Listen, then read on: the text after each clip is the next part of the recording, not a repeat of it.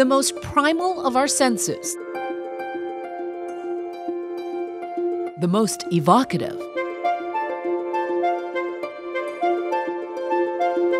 The smell of fresh cut grass takes me back to my childhood in the summertime.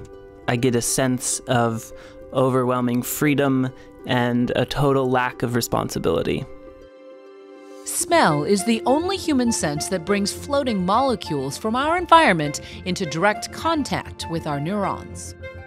The smell of lemons makes me feel like a little girl again. My mother used to rinse my hair with lemon juice. Makes me feel very loved. And when those molecules hit, they light up our brain's centers of communication, memory, emotion.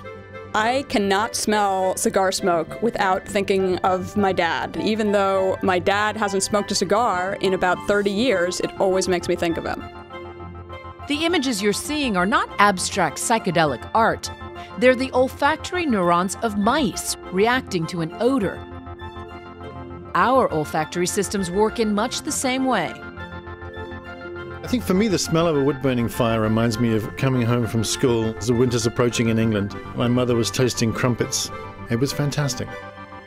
Tonight, we'll look at why our sense of smell provokes such powerful memories, and we'll explore these questions too. Can scent be used to diagnose disease?